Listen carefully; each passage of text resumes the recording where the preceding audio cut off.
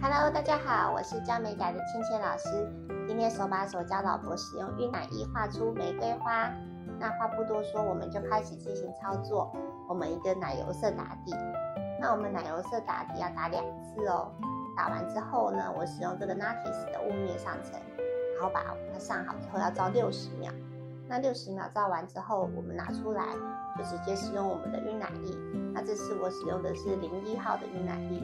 那我们就是像这样子不规则的绕圈，那一圈一圈的去绕，这样子把玫瑰花的形状也做出来。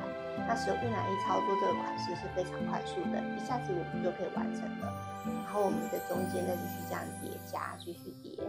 那如果喜欢今天这支影片的话，记得给我点赞、订阅、关注我，谢谢大家。那我这晕染液使用的是美甲先生的晕染液，它的刷头很特别，非常细细的，像线笔一样。那这部分我是特别的喜欢，所以它在操作一些细节上面来讲的话，就特别的容易，就不用特别换成笔去做操作。然后接着使用一些透明的晕染液，把我们一些想要晕开的地方给做一些过渡，然后中间地方也可以弄一下，这样让它整个层次感会更好一点。那这部分我们就可以看一下沉浸式的看一下怎么去操作。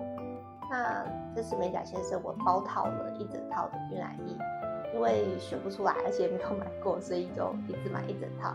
那陆陆续续会给大家看一下，就是它的每一个颜色，那会做什么样的操作，到时候再拍视频给大家分享。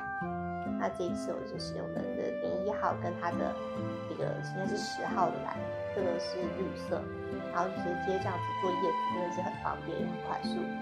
那这样子做出来的效果，我觉得水彩的效果有水彩的感觉，那晕染液有晕染液的效果。那接着我们就上封层，就完成这个作品啦。对，我们现在就完成这个作品，要准备欣赏一下作品啦。我是 Iris，关注我，美甲的路不迷路哦。